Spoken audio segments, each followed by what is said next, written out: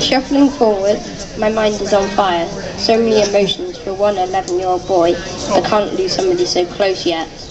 She's there, at the end of the ward. Her powerful eyes are still open. Her heart, which is the same as mine, broken with stress and fear, makes all of her be surrounded by beats, sporadically spurting from her heart monitor. I hold her hand. It was cold and dead. You'll be fine, I lie, but I know I'm just tricking yourself. When I'm, when this is over, I promise I'll talk to you every day, Gran. You can tell me everything you've ever been through. Promise. As soon as I had made that promise, I felt a strange tug on the hand which I was holding my grandmother's with. All I saw was a flash of green light, then an ethereal purple. I felt myself being tossed and turned. Howling wind roared like a bear. Thud, I hit the ground. Where am I?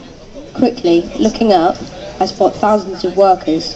A sign read, Ransome and Marles, Ammunition and Other. I know that name. It's the factory in Newark that was bombed. Underneath it says 1942. Uh-oh. Suddenly a siren sounded. I am overwhelmed. A few minutes ago I was talking to my dying grandmother. I ran. I saw a girl with green eyes. I decided to follow her. I was obli- oblivious to the screams which filled the tense air. There, a bomb, falling, straight towards the girl.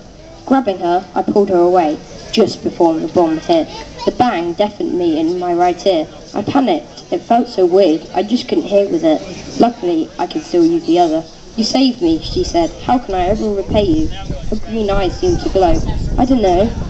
Wait, you're Hilary Grain, my grandmother. With the sudden realization, I was pulled back into my real world. My right ear was throbbing, but luckily I could still hear. And you're Thomas Crane, my grandmother said. Then she drifted away.